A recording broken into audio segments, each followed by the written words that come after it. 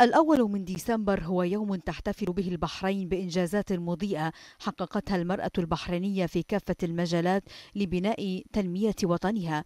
فصاحبة السمو الملكي الأميرة سبيكة بنت إبراهيم الخليفة رئيسة المجلس الأعلى للمرأة سيدة البحرين الأولى أولت دائما اهتماما بالغا بالمرأة البحرينية. وهذا العام تم اختيار المرأة في المجال القانوني والعدلي للاحتفاء بإنجازاتها وما حققته خلال مسيرتها العملية. بلا شك كان لتوجيهات صاحب الجلالة الملك حمد بن عيسى عاهل البلاد وكذلك بمساهمة المجلس الأعلى للمرأة من قبل دعم صاحبة السمو الملكي الأميرة سبيشة بنت إبراهيم الدعم الأصيل أو الذي الأساسي في دعم المرأة البحرينية والقفزات التي حققتها. فالمرأة البحرينية قفزت تلك القفزات بفضل من الله ثم مجهود جلالة الملك وكذلك دعم السيدة الأولى للبحرين. فكان لذلك الدعم الأثر الكبير في تبوأها أكبر المناصب القضائية سواء قاضي المحكمة الدستورية أو قاضي في محاكم الاستئناف أو حتى في النيابة أو في التشريع والإفتاء. أنا أعتقد أن تخصيص هذا اليوم من قبل جلال من قبل صاحبة السمو.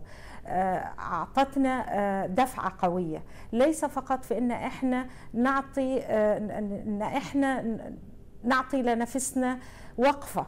ماذا قدمنا فعلا إلى مملكة البحرين؟ وماذا بإمكاننا أن نقدم أكثر؟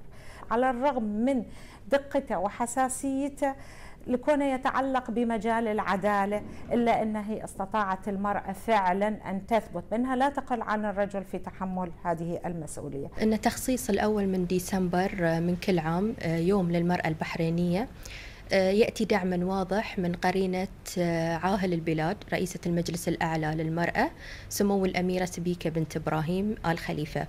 وتقديرا من الحكومة الرشيدة لجهود المرأة البحرينية ومسيرتها الوطنية. ومنذ الإعلان عن تخصيص هذا العام للاحتفاء بالمرأة البحرينية في المجال القانوني والعدلي قامت مؤسسات المجتمع المدني بإبراز أهمية دور المرأة في هذا المجال من خلال ورش العمل والمؤتمرات والندوات التعريفية. تسليط مجلس الأعلى للمرأة الضوء على المرأة في المجال العدلي أو القانوني ما هي إلا أحد المحاور التي تبنتها قبل ذلك. فصار تسليط الضوء على المرأة العاملة في المجال الإعلامي والمصرفي ومجالات أخرى. اليوم تسليط الضوء في المجال العدلي والقانوني ما هو إلا وسيلة معينة من خلالها يستطيع المجلس الأعلى للمرأة النظر في أهم إنجازات المرأة في المجال العدلي والقانوني وما هي الصعوبات والتحديات التي واجهت المرأة في ذلك المجال. إن هذا الاحتفاء أعطى انعكاسات إيجابية عديدة لدى النساء العاملات في مجال القضاء والقانون وكشف لنا مدى اهتمام القيادة العليا بالمرأة العاملة في هذا الحقل وتذليل أي عقبات نحو تطوير أدائنا ولا شك بأن هذا الأمر يبث فينا الهمة في تأكيد أحقيتنا في هذا المجال بنجاح. لم يبقى المجال العدلي والقانوني بمعزل عن التطور الذي أطال جميع قطاعات العمل في المملكة. إنما أصبح في الوقت الحالي مجال خاص للتميز والإبداع.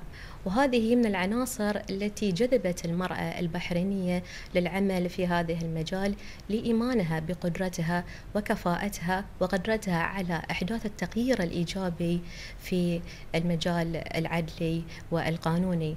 إن اليوم هو يوم وطني يستذكر فيه المجتمع الإنجازات التي حققتها المرأة البحرينية في المجال القانوني والعدلي وهو بلا شك نتيجة الدعم اللامحدود الذي تحظى به من قبل صاحبة السمو الملكي الأميرة سبيكة بنت إبراهيم الخليفة رئيسة المجلس الأعلى للمرأة.